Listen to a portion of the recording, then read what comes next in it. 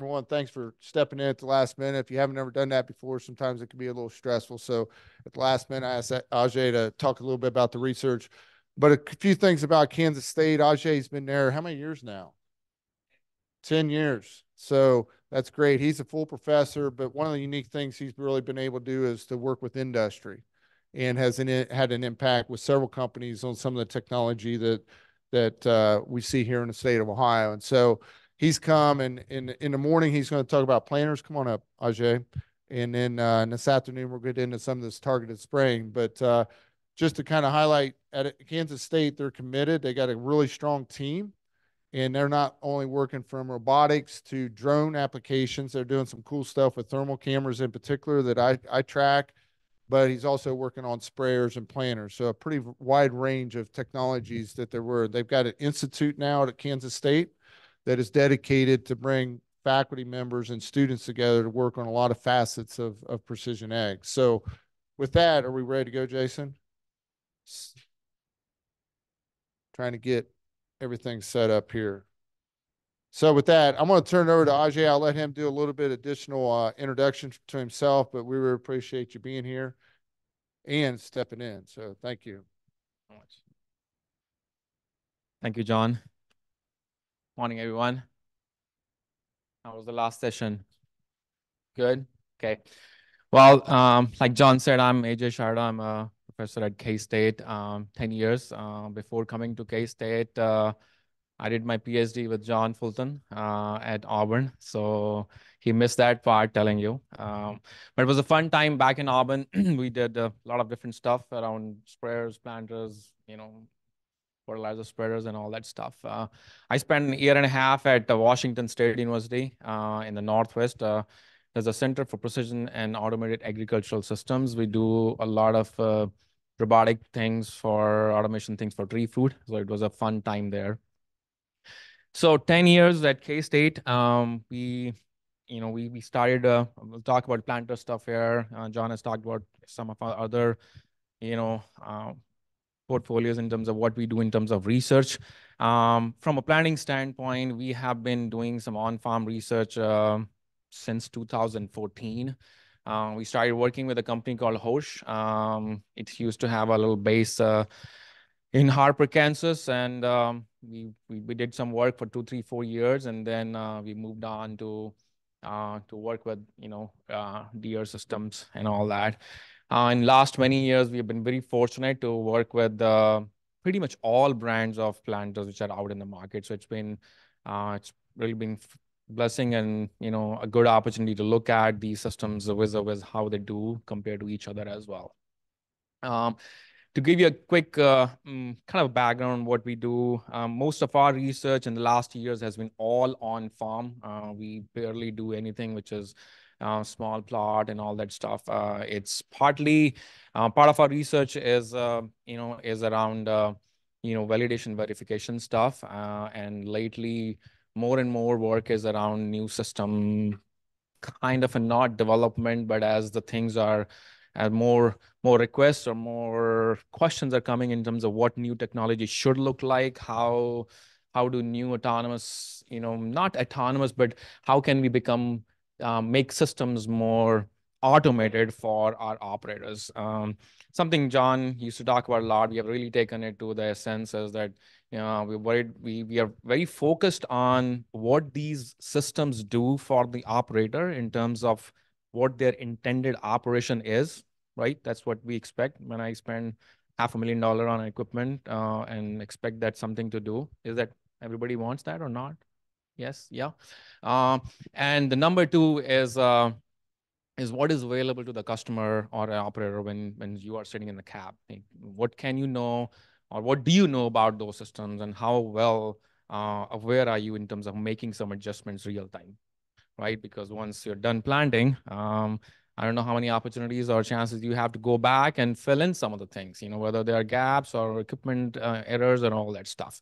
So, so that's that's where we are from a from a farmer or the uh, from on-farm standpoint, um, we we do not have uh, any land on on campus, but we work with uh, three or four farmers uh, in and around campus. We typically stay in like 60-ish mile range. uh, with all the logistics of moving stuff, you know, equipment and people and, and taking all that data. So um, to, with this background, I really want to thank uh, some of our farmers who are very open to helping us with land. You know, we have you know, it's it's it's it's a fun funny story. And when we started working in the first year, we used to get the most crappy fields in the in the farmer's portfolio, right? You know, with all the wild garlic, wild onions, you know, stones, brand new land you're bought. You don't want to mess with anything. So that's where we started. Uh, but it's a fun time that we are in a situation where you know what we do i also want to you know it's a good practice what you know just to just to share.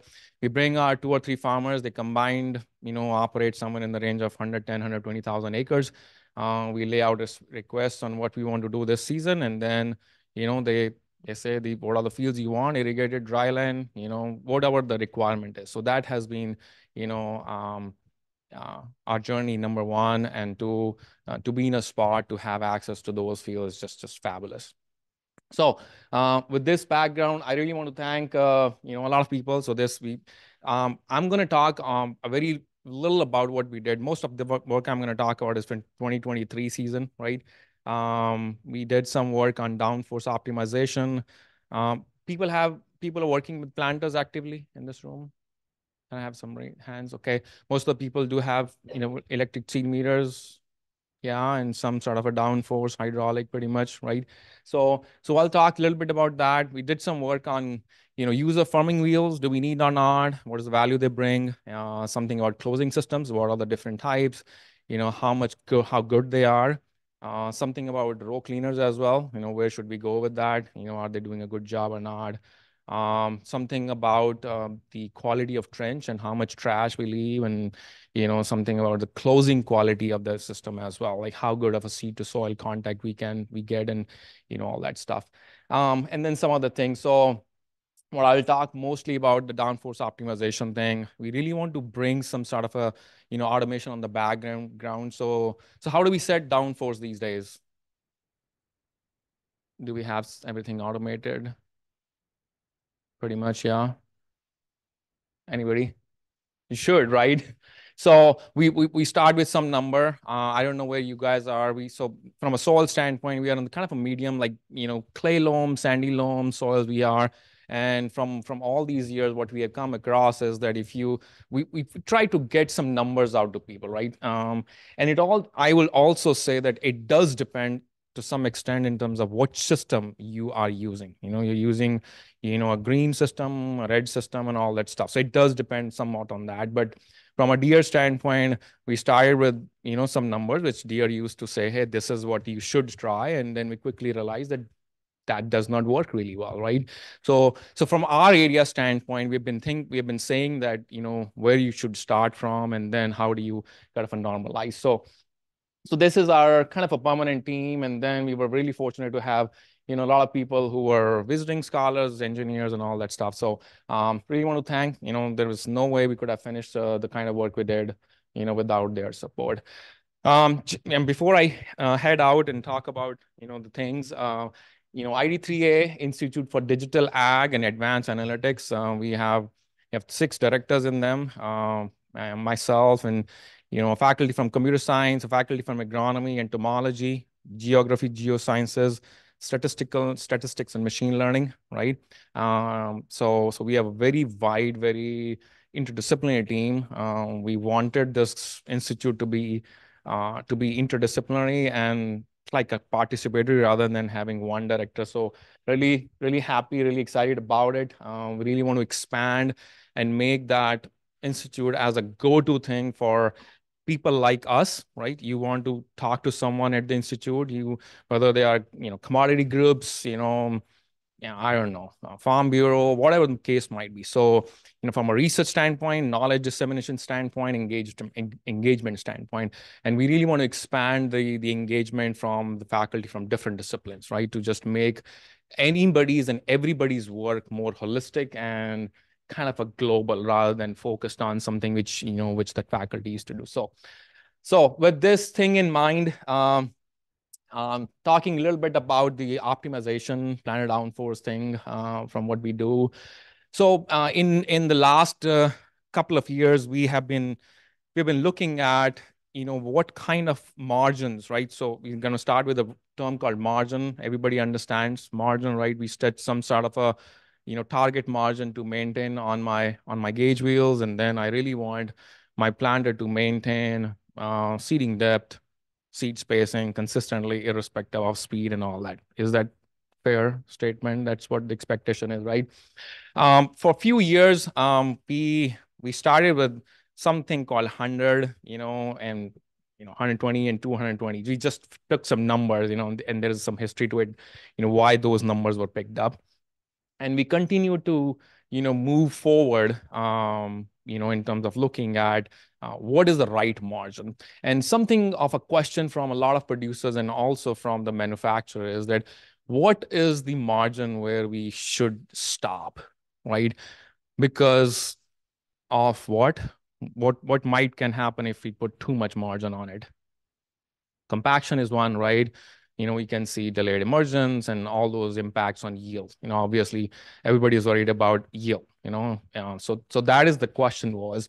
So um this year so whatever we did in many years it just seems like was not enough. So we have gone overboard this year to kind of a look at you know what what we wanted to learn uh, we have never planted any field which is still except one year, one field. So almost all of our studies are no-till. Uh, we have also never planted, this is a question which came in in one of our other uh, uh, meetings uh, that we have never planted on in on wheat residue. It's always been corn, soybean, you know, rotation. So I don't know, you know, this is what what we have gotten. Um, so um, from that background, if you see um, um, if you see the second line here, um, the, the margin treatments, so we, we went to from 100, 175, 250, and 325 pounds of margin. You know, that's a lot of margin to, to, to try to put in, right? So these are 75 pound classes. So again, one of the goal was to look at is 325 pound going to start showing us some sort of a negative or adverse effect on whether it is emergence on yield, right? Uh, and also to see, you know, what we saw in the previous years, can we cap off any loss in depth consistency when we start planting faster, right? That was the another thing. So because the combination of speeds are five, seven and a half, and 10 miles, right? So how many people still plant with five miles? All right. you know, proud five mile people. Okay. No, uh, what, what the other thing we, we continue to say that if you are investing in a technology like this, uh, we have shown this, this work for the last seven, eight years. Uh, there is absolutely no way that you should be planning at five miles because these systems are capable of giving you exactly what you need at at least seven and a half, eight miles. So looking at all the systems like, you know, I just mentioned, all of those systems has somehow the sweet spot around seven and a half, eight miles. You know, you can talk about Horsch, CNH, you know, white planter, AGCO, Fendt this year, and and Deere, right? So all of those systems will give you pretty optimal performance just from what we have seen, right? So four margins, three speeds, um, and then lots of uh, you know strips to to do to do all that. So let me uh, also lay out some other things we what we do whenever we, we adopt a field like that for a study like that um, we scout the field. You know, we do not want a lot of terraces and a lot of variability in that. Um, but we do want some sort of a you know uh, random terrain. We do some soil electrical conductivity. We want to isolate the area so that we are not planting the strips in a very wide variable soil. Make sense? You don't want to put half of the strips in a completely you know i don't know silty soils, another one in a complete clay soil and all that stuff. So, so that is our goal to do that. We go out, do all the elevation, boundary, and all those nice stuff from what, what we want to do. The other thing, what we, the, from this project standpoint, we have gotten enough proof in the last couple of years that not all row units behave the same way. You guys get, see what I'm saying? So what we have done is we have we have divided our planter toolbar into three types of row classifications. We call them wing rows, which are the outer three, four rows on the either side. Good. All non-track rows, which are not following any tire tracks. And then there are track rows, which are following whether, you know, tractor tires. Good with good. Everybody got that. So with that kind of a row classification, we have enough, you know, kind of a data to see that those rows do not behave consistently across the toolbar, right? So what we have done, so whenever we go to do the, uh, a project like that, we lay out all the treatments, right? You know, all the combinations of downforce and speed, but then we pick out one row from each of these row classifications. One from track, one from non-track, and one from wing to collect all the data post-planting. Good.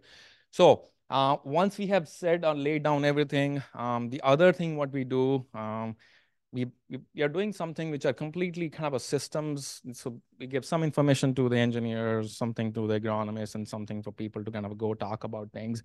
Um, we instrument our planter. So every other row has uh, a custom accelerometer. We want to really measure what the vertical, you know, motion of the, you know, row unit is. We, we, on our cell, we, we, we quantify ride quality, ground contact, things of that nature, right? We also instrument our own hydraulic pressure sensor on each, uh, on alternate rows, same row which has the uh, accelerometer, and I'll tell you why. And then we also pull raw data. We used to pull CAN bus data up until 2022. You know, with some of the changes, we could not pull the CAN bus data. Uh, what we are doing is we are we are capturing raw data from the load pins, right?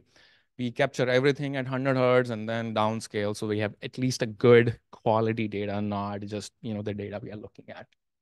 Now, what we are doing with the hydraulic pressure data is we are calculating something called disk load. You guys heard about something like disk load, right? So, so we talk about margin, right? Uh, we know the dead weight of row unit. We also know what the margin was. We also know what was the hydraulic pressure applied, and we can convert how much additional load was applied on the row unit, right? So by adding the dead weight and additional weight, I know what total weight was available at any given instance. I subtract my margin and I subtract the, the, the soil reaction for closing system, and what I am left with is disk load. Does it make sense? So what we believe is that disk load is probably the most true representation of soil strength in the field because that is exactly what those discs have taken up to get you the two inch depth you needed. Yes, no, yeah, yeah, because that's exactly what it is. You that's that's that's the disc interacting with soil, sharing in, and getting in the two inch depth from that standpoint. So once we do that, um, we our group is pretty diverse. You know, we fight all the time. We fight on small things, what should be done or what should not be done. You know, how should we do this and all that. I think uh, we were done fighting last year, and we thought, okay, this year we're gonna go twice a year, twice a day, and we're gonna measure emergence at 7 a.m. and 7 p.m. every day, come what may, right? So we got two agronomists and um, the rest of the engineers, and you know they don't sometime i don't know what happens with them but so we we go out we we measure emergence twice a day. Uh, we then we go in and take soil you know plant spacing and then we dig out every single plant on all those strips. So all those treatments three replications one row from all or each of the row classifications for each treatment so that i can look at data in terms of depth spacing emergence and yield for all those row classifications for these treatments. Good. And then we go out pull years, we do some hand harvest, and we also do combine harvest yields as well. This was probably the first year we harvested every single plot we have planted with the exact same kind of you know um, header width we needed to to to harvest so it was a big uh, achievement for our program because yield was something which was you know you know, falling off the thing. Good. So with this background in mind, um, this is how, you know, kind of a sample uh, thing look like. And I want to point out, you can look at any of these things uh, in terms of what the downforce things are, but picking up one row from wing, non-track and track, right? So all of those treatments, uh, and we, we are looking at things in terms of what we want. All right. So um, and all these maps, so what we have, we have what we have done is, so first one, so this slide, you're looking at point data, but the next two maps I'm going to show you is, is showing all 12 rows of data plotted simultaneously. So you can see, you know, row by row difference, you know, a little bit, you know, from a trend standpoint, uh, what it was doing. So um, this this is a field. You can see that black solid line is uh, um, is our uh, is our area where we we laid out strips. Um, you can see all the margin distribution. Those colors signify really really well. So this is one way of saying that hey, the planner toolbar or the system was able to implement and manage the margins, you know, for all those treatments very well, right? The colors does signify. You guys see all these, right? Um, on the right side is the hydraulic pressure data, um, you know, nothing to, uh, just, just to signify all that. So this is a map uh, where we are showing all 12 rows simultaneously. You can see, you know, row to row variability little, to a little bit from that extent. On the right, you're seeing the soil electrical conductivity, and you can also see the, uh, the dotted black line, you know, so we have some sort of a soil mix, but this is this is a reality in every single field in terms of what you do. So this is what we lay out in terms of opening disk load um, from what the soil variability says and uh, you know how the individual rows were responding in terms of how much uh, disk load which we're taking. The beauty in terms of when you're looking at uh, disk loads are they can take up anywhere between 100 to 500 pounds or more, right? Um, and I think if you have if you have a field, I have lots of examples I can show you. Go to a certain field which has some history to it. You know, you were doing some work where you're storing stuff, you're building stuff, stuff that used to be a manufacturing facility. You will see that the amount of disk load in that area could be exponentially high. It means like if every the average on the field is 205, 200 300 pounds on that area, it could be five, 600 pounds. So that is what it can easily show you. Some of these numbers are easily visible when your planter is going over the pivot tracks as well, right? So, um, so that is that is the beauty of uh, looking from that standpoint.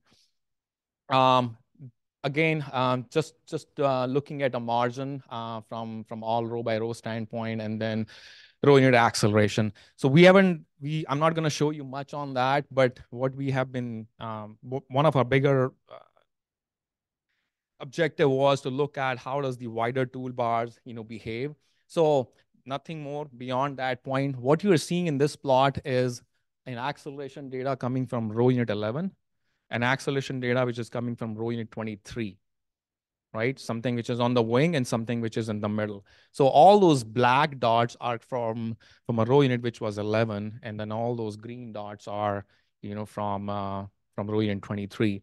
And then all this red line is a speed. You can see it is going from five, seven and a half, and 10 miles and so on and so forth. What do you guys see in this plot?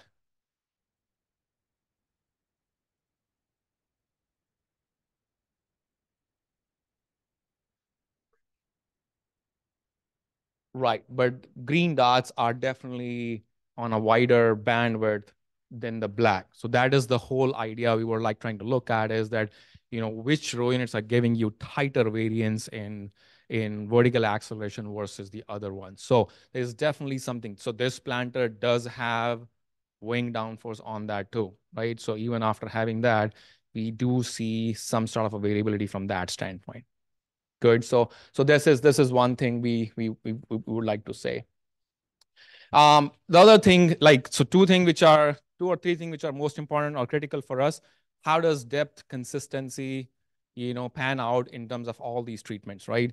So what you're seeing on this is an average. So you combine all speeds for each margin, and where do you see in terms of depth? So it goes, the scale goes so these are my 100, 175, 250, and 350. And your depth goes like that. Zero on the top, three and a half inches on the bottom. What are you going to select if, if this is what the result is? Which margin you think works out best?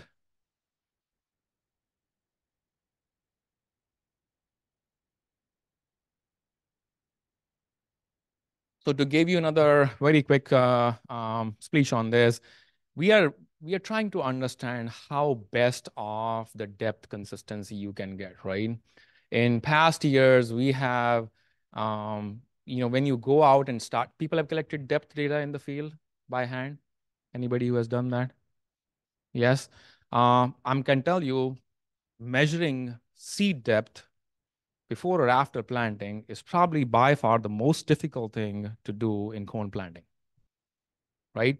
So we have done everything from what we could do, right? Um, we used to fight that, oh, you know, maybe not each um, disc is equally worn out, right? Maybe our T-handle setting was not right. Maybe when we were setting our planter in the field, it was not exactly two inches. Or when people go out and they do not follow the same protocol, right? Uh, a lot of things can happen. And uh, this is very natural. This year, we our goal was that only two people will go out and measure depth. And I'm not kidding. If you segregate data from those two people, even after having a whole session, we have same digital calipers, we have same protocol, their data looks slightly different, right? Human nature, you know, how you measure those things. But we wanted to negate everything from our own ability, like brand new planter, every row unit was set right using set and seed, you know, thing. Have you guys heard about? I can set every every row unit, you know, accurately. Uh, and then, you know, T-handle settings are right. We use exact same calipers to, to measure depth right after planting so that we know our planter was set right. And then two people who follow the same protocol, right? Um, people calibrate every row unit here when you're setting. Yes, yes, you have to, right? Because if you look at, so from our experience, brand new planter, all 24 rows were not on the same setting at T-handle do you guys have you seen that or done that know that? Yeah. So lots of row units have lots of different settings if you really want to achieve two inch depth. So one thing you want to take home is that you need i will or we all will calibrate every single row unit individually because i cannot rely on one t handle setting for all the row units even from a brand new system guys want to take home this message yes okay uh, say it again. Two inch. Two inch was the goal. Yes, two inch was the goal. So from all our previous work, we have seen that. So we are particularly talking about green system here. Please do not mix this work with any other work because there are slightly different things, right? And the other thing I want to say is it is all about how consistent I can maintain margin.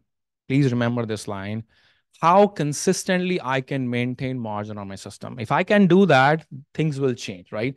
So somehow on this system, it seems like, so we've been preaching for a couple of years that you should start somewhere around 180, 200 pounds of margin, and then you should see, you know, you know, depth. How does depth look like? How does your ride quality looks like? And dial in a little bit more, right? I've seen a lot of people who continue to dial back and forth. Please don't do that. That's not helpful, right? You know, when you sit down in the in the cab, just trust the system. So, um, so in this case, we what we see that 250 pound margin is probably giving you the best depth, right? You can see the 350, 25 pound margin as well, but there is a lot of variability as well. The faster you're moving, the more margin you have. Whenever your row unit is going to hit any hard spot, it's going to go up you know, equally faster as well. Plus all the wear and tear we are talking about, right? So 250 pound margin is definitely the uh, what we looked at in terms of the, the the quality of that part is. Now, if you see all the distribution individually from speed combinations and all that stuff, I do not know what happened here. Um, in this case, when we were looking at the uh, uh, the 325 and how much variability in depth this was, but uh, again, seven and a half at seven and a half mile speed, 250 pound margin again. So when you look at 10 miles, even then, I'm pretty close in terms of, you know, what I can get on that margin, um, you know, in terms of um, the consistency of depth part of it. Now, what, so if we want to, so the idea is what can we learn, you know, in terms of um, the consistency of the depth part of it, speed combination. And if we combine all the things we can measure and all the things which are available for us to, to read about it, two things come to my mind, to our mind from what we have learned. One, if I can consistently monitor how tight my margin maintenance is, right? So what is happening is at 100, 100 pounds, my variance is quite high. If my variance is quite high, I'm going to continue to jump around in terms of depth. You know, at 75, it kind of a closes, but 250 pound is when it really kind of a narrows down. The system is really nice. It is, you know, kind of a zoned in and give me a nice, you know, margin consistency. And if you are maintaining good margin, will my ride quality be very good? Yes. How many people think if I can maintain my margin really well, my ride quality should be really good as well, right? So, so if if I can use one data layer to see that my margin consistencies are there, and as a complementary data layer saying my ride quality is good as well, I can somehow automate the system for my producers, you know, so that they don't have to worry about when they are moving across speeds and different soils, right? So that is where, you know, this this thing comes up that um, that 250 pound and seven and a half mile is, is really good. Now, again, I'm saying do not take that, that you need 250 pound for all other systems too, right? It may be that some other systems are really good, you know, maintaining 160 pounds, 150 pound margin all the time. You may get good depth consistency with those systems. But here, this is a sweet spot. Questions? This is John Deere system. Yes. Yes. Well, we'll see that. We haven't gotten to that point yet. Yes. Hold on. Hold on. Train is getting there. All right. So I guess this is very everybody's eager to to look at some of those things.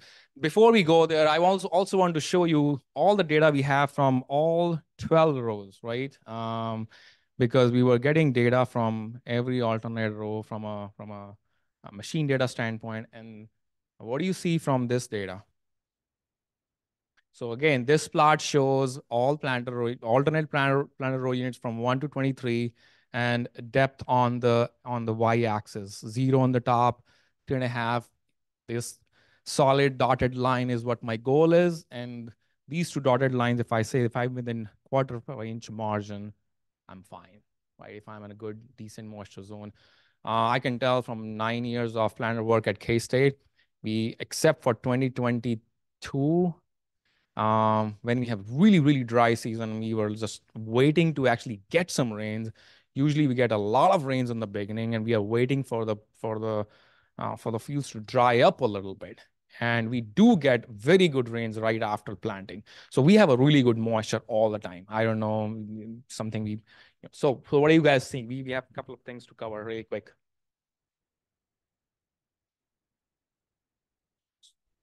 right? So all, all, all, this is 12 rows. I don't know about the all other 24 if we combine everything else. So there is some inconsistency in terms of, you know, from the depth management part of it.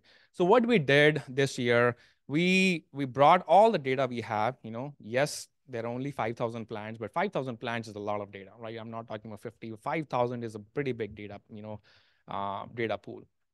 So we brought all the data uh, along with speed, along with Mars and all that stuff. And we thought, okay, we're going to do some, some more data analysis beyond that point, right? So there is something called response surface methodology in, in statistics, machine learning standpoint. And we thought, okay, we're going to go out and find, you know, um, how do the, these rows behave if we look if we look at from a row classification standpoint, right? So um, the behavior of non-track rows is on the left the behavior of the track rows is in the middle, and the behavior on the wing rows is on the right. Everybody with me on that? So pretty linear response, you know, if I look at non-track rows and more like a parabolic thing, you know, um, quadratic you know, from, a, from a track. And then wing rows are just by themselves, pretty weird in terms of how they behave.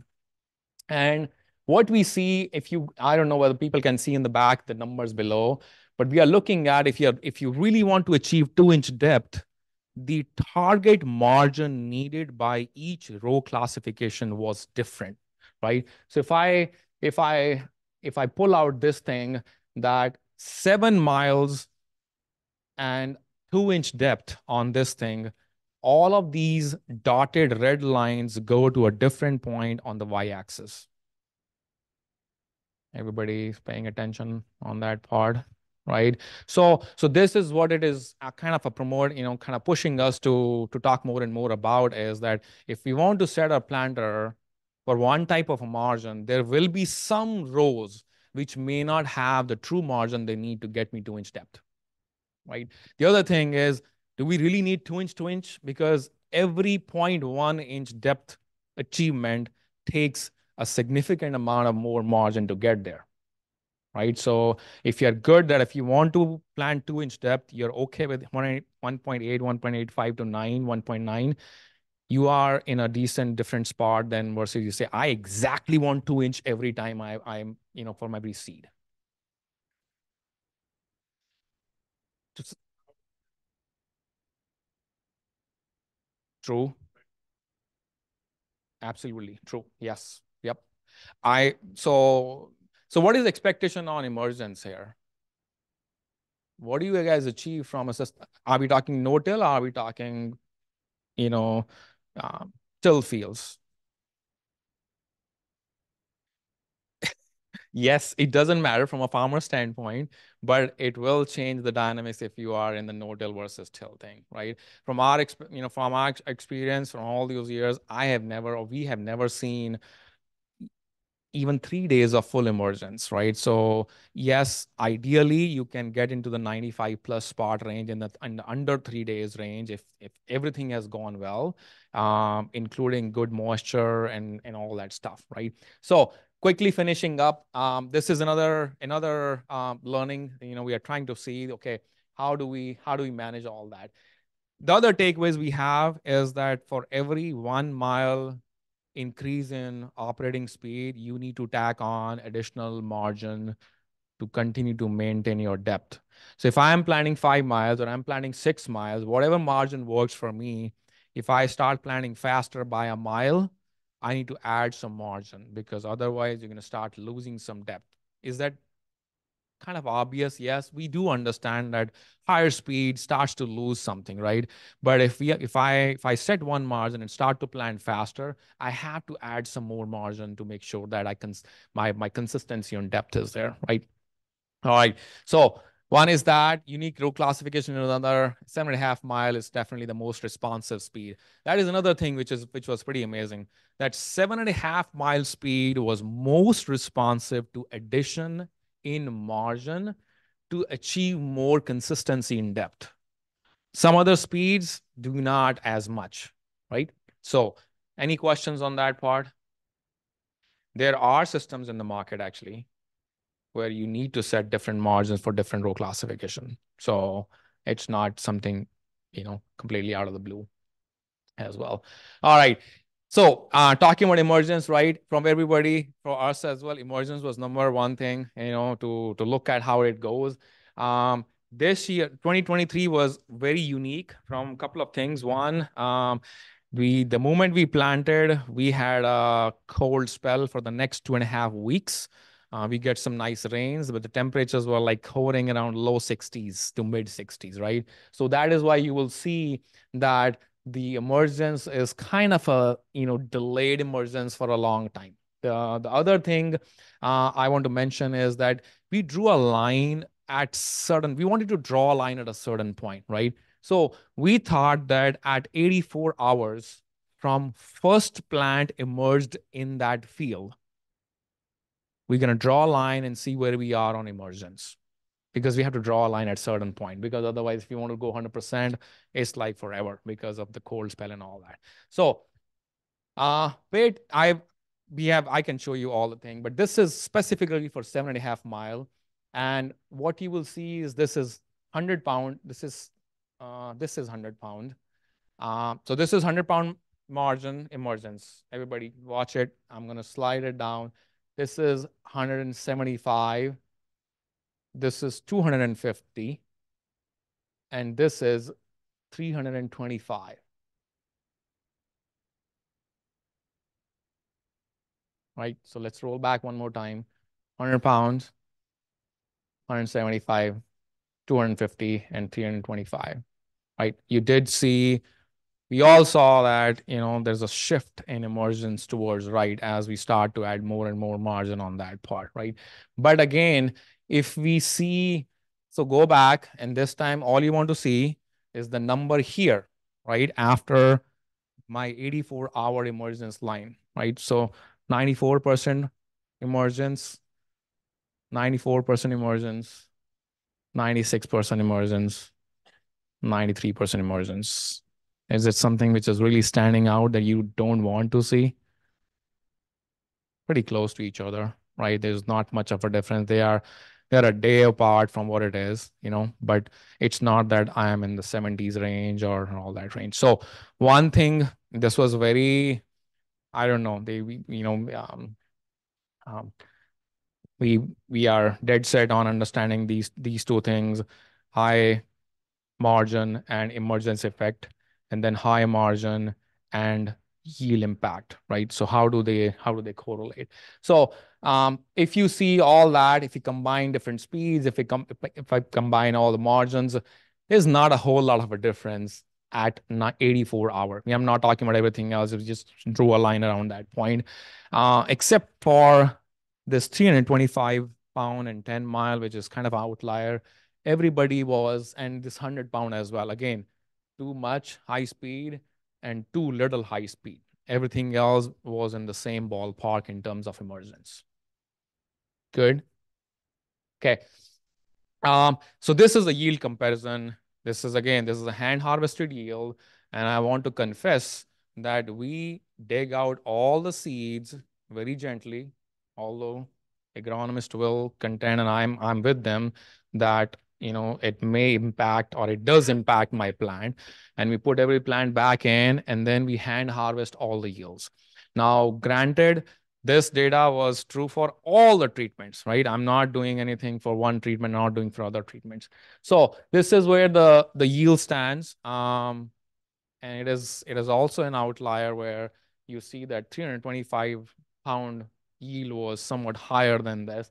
But if you see some of those things um, seems like in in the in the 250 pound margin, this yield was significantly lower for some reason. I don't know what happened here, right? Maybe when people were digging out plants and putting them back in, they didn't do a good job. 3 p.m. in the afternoon, they're tired, you know, too hot, didn't have water, didn't have food. I don't know what was going on. But this is what happened, you know, so this one outlier pulled the yield for the entire 250 pound margin below, you know, or down from that standpoint. But if we see all other things, they were hanging out there, right? So both emergence and yield doesn't have a whole lot of a difference. If we see the combine yield, so what we do, we have a 500 foot um, or feet, you know, kind of a pass. And we, this data is only 17, 17 and a half feet strip right? So if I flip all that data, it does represent exactly what you're seeing here. Although the yield difference is somewhere between 50, 20 bushel because of the impact of when I dig all those individual plants and put them back in, they have an impact on final year. How does it, the, the, the, the yield looks like? Questions? Again, I, I didn't quite understand the graphs. Yeah. So what these graphs are telling you is, so yeah, my bad. Um, downforce margin here. So sorry for the kilogram, but this is 100, 175, 250, and 325. And on this thing, this is cone yield, right? And this is all combining, you know, from, from a standpoint of so everything at five mile, everything at seven and a half mile, everything at 10 miles right? So, and then all these margins up, up above, they are saying whether they are significant or not significant. If there is NS that is no, not significant, everything which has a star has a significant difference in yield between those combinations. So for example, if you take this, these are significant, these are significant, these are significant, this and this is significant, this and this is significant. That makes sense.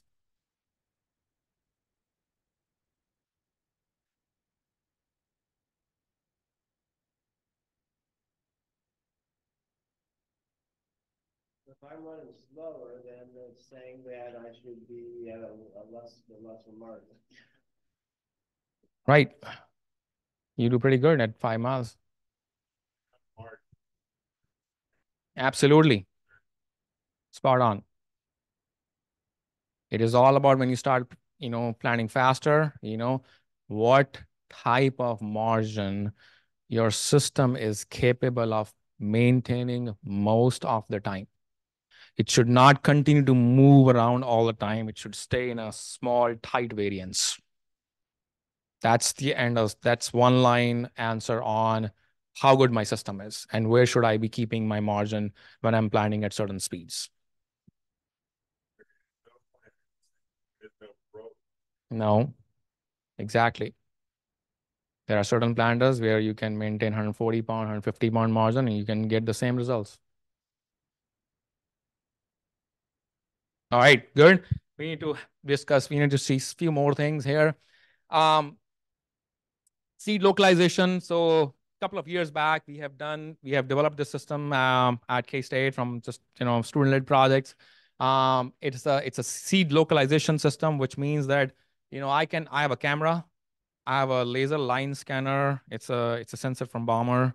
It gives me, what it does is it's a lots of, you know, uh, infrared light, and then it gives me a profile of the entire trench. It doesn't give me depth, but it looks at the deepest point and looks at the shallowest point and give me a difference.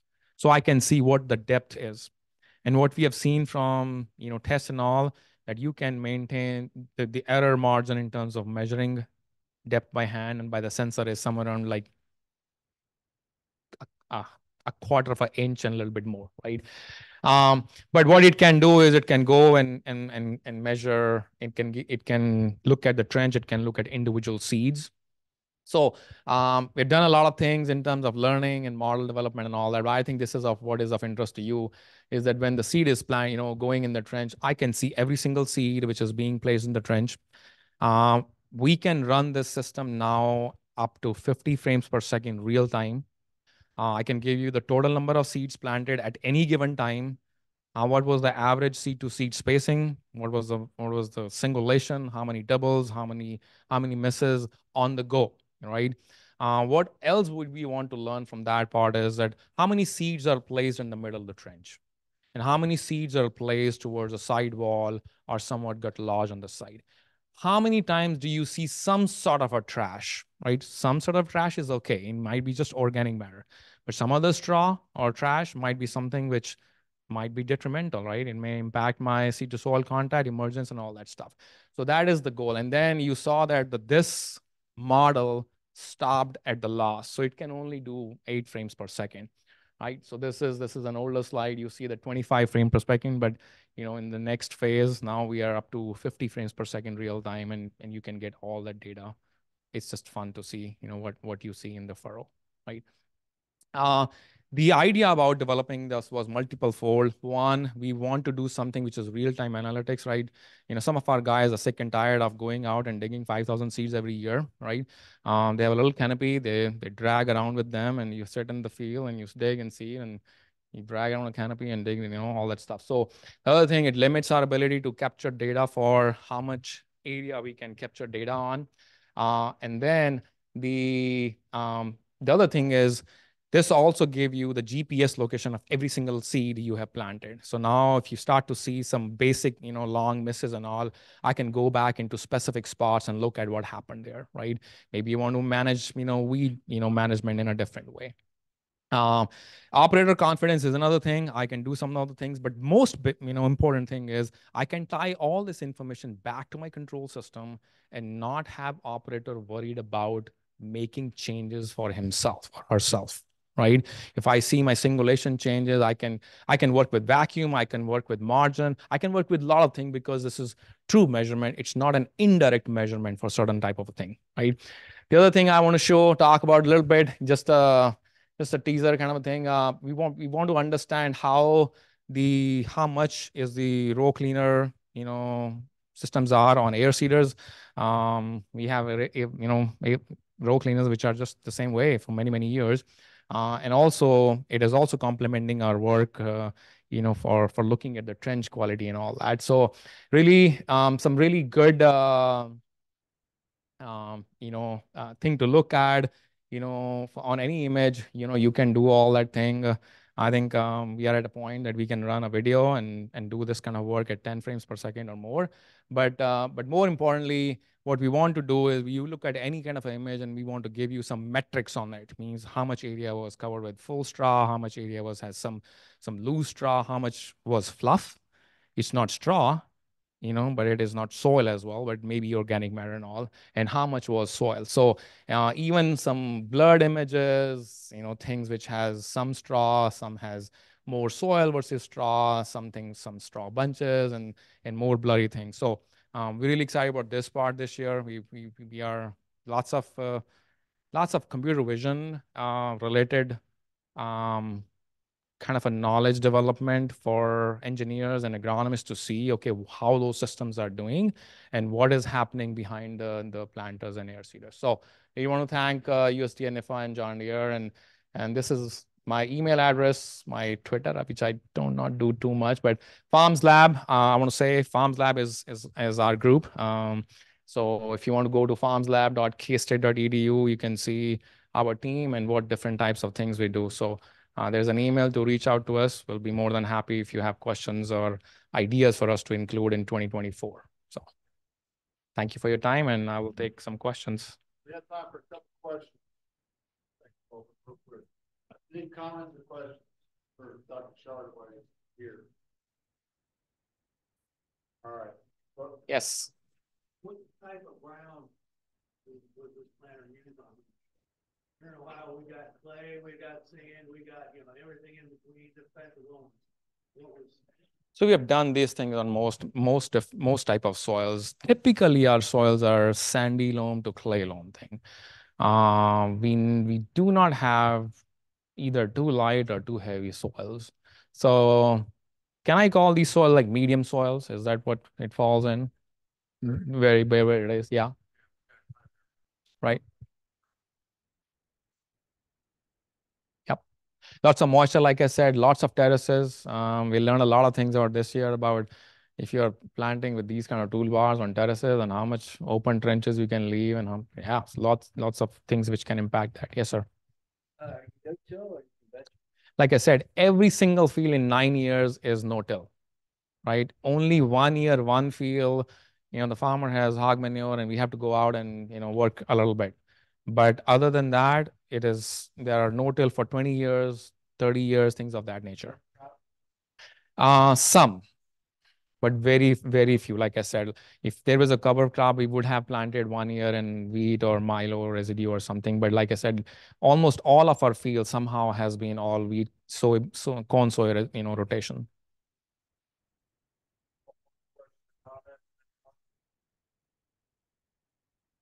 True field conditions, we go in, we we actually these all of those fields are within farmers' uh, production system, and um, it, it's a lot of responsibility that you know both from a timing standpoint and also to make sure that we put the seed in the right way for him. Uh, that all that is the only thing which is giving us flexibility to go out and and get the fields we need. So yes, everything everything production acre standpoint. Thank you, everyone. If you still have more. Couple, couple of housekeeping notes. So Paul, you know, I was thinking about some of your questions or comments or anything, but if I kind of put the two presentations together, I guess we got some uh, advancements to make. Number one, what we're learning is there's going to be more technology coming for your planters. We know that for a fact. We've seen it. If you go to Agritechnica, you'll see it. It's just coming. We're going to learn more. Secondly, though, the challenge was if we think about yield monitoring technology, there's no way you're going to be able to go out and, and do some of these studies as what he mentioned, you know, understanding row by row variability, if not sections of the planter variability. We can't do that today with yield monitors. So we got, even as academics and industry, we're going to have to overcome that because if we know where every seed is and we can just characterize the, you know, the conditions in which that seed was placed, we don't know, right? We don't we today are unable to evaluate that effectively in my opinion. And so we've got some some things to overcome that bring technology to the forefront to allow us to look at a row by row or meter by meter or whatever that needs to be in order to do some of this to enable you paul to do some of the things i think you're probably thinking about sitting there. So just kind of bring it um, we're done with the morning session. We'll be back at 1.15 so we're at lunch right now. We'll be back in this room at one fifteen. We're going to transition and talk about pulse width technology and ultimately drive our conversation to targeted spraying. That'll be the afternoon session. Uh, if you haven't and are interested, we've got a couple things in the back, the E-Fields report and E-Barns report. If you haven't got yours, please pick those up. But with that, we'll adjourn for the morning and we'll be back here at 1.15. Thanks, everyone.